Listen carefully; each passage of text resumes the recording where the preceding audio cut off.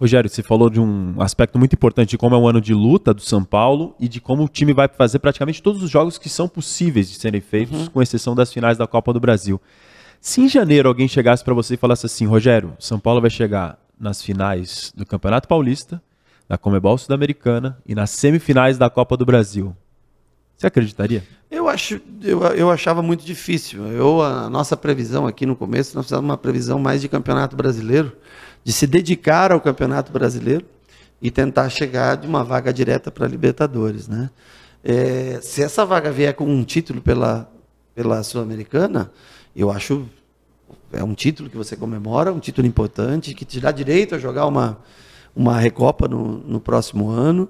Então, eu acho que seria muito melhor do que vir com, com quarto lugar, por exemplo, no Campeonato Brasileiro. Agora, eu falo que as Copas elas são ilusórias e são riscos, né? Você está a 90 minutos do sucesso a 90 minutos do fracasso. Uma vitória significa um ano de sucesso com o maior título dos últimos 10 anos que o clube conquista.